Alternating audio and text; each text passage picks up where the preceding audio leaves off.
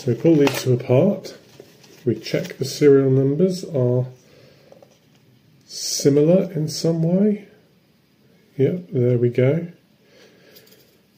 And then we choose two. Scan the QR code on the top of the pack.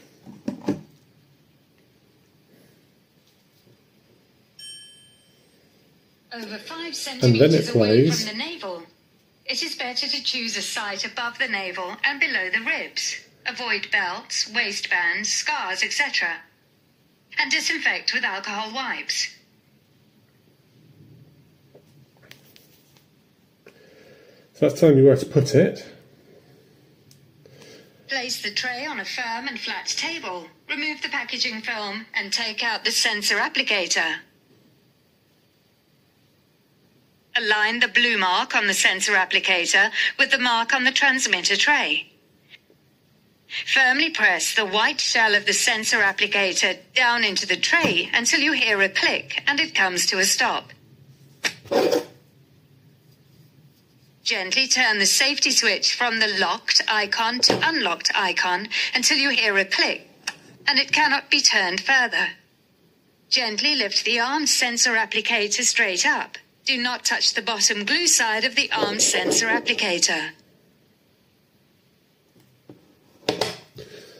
So let's give that a go. First of all, let's take the uh, piece off the top. There we have the applicator sitting inside like that, nice and big. So we line up the blue marks.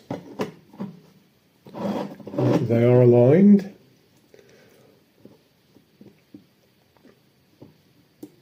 And then press it down until it clicks. That's a bit of a press. Then we have a twizzle on the top there. So we'll take that and we then turn it carefully until we can't turn it anymore. Okay, we've done that.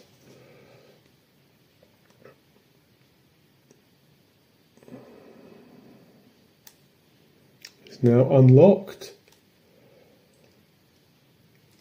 Pull it up. There we have an applicator ready to go. So then, where are we going to put it now? It says I'm supposed to use here, but I never like using here. So what we'll do is we'll put it on my arm where I'm going to put it like I would do with a Libre. So then, let's put that on the arm. And then hit the button.